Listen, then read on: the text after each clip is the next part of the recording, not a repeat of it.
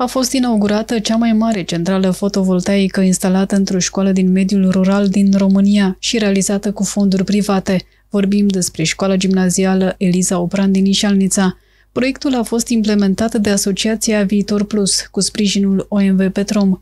Astfel, instituția de învățământ va reduce considerabil cheltuielile cu energia electrică, sala de sport va fi alimentată la același sistem, iar surplusul va ajunge în sistemul de iluminare publică din Ișalnița. Reprezintă un mare avantaj pentru uh, școala noastră și mai ales pentru bugetul școlii noastre acest uh, proiect, pentru că um, sunt convinsă că uh, vom avea facturi mult mai scăzute la energie și uh, dacă anul trecut, înainte de montarea panourilor, plăteam undeva la 6.000 de lei factura pentru curent, uh, cel puțin uh, acum, în luna ianuarie, pentru că de curând s-au instalat aceste panouri, nu am putut monitoriza decât pentru luna decembrie și ianuarie, factura a scăzut undeva la 4.000 de lei, ceea ce înseamnă pentru niște luni de iarnă, când soarele nu a fost foarte puternic, destul de bine. Și comunitatea beneficiază, în primul rând, să nu uităm că aici învață toți copiii comunității locale,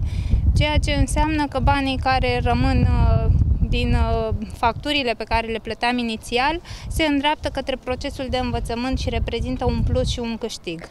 În altă ordine de idei, um, pentru faptul că aceste panouri alimentează și sala de sport lângă care noi ne aflăm, uh, de asemenea, este un avantaj pentru comunitate, deoarece nu numai elevii noștri își desfășoară orele de sport aici, ci și um, uh, ceilalți sportivi de pe raza localității și nu numai de pe raza localității, ci chiar de la nivelul județului Dolj, pentru că inspectoratul școlar de multe ori organizează competițiile în această sală. Va alimenta și o parte din iluminatul public. Aici învață 353 de elevi și preșcolari.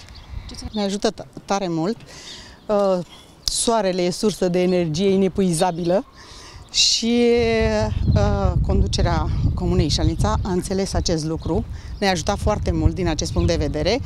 Uh, uh, sunt foarte multe panouri solare puse din uh, acest an uh, pentru comunitate ajută la iluminatul public, cum a zis și doamna director, uh, dar pentru mine înseamnă mult mai mult. Eu locuiesc în Comuna Ișalnița și înseamnă terminatul acesta al cenușii de la Halda, de la termocentrală Ișalnița. Uh, nu mai vine cenușa peste sat.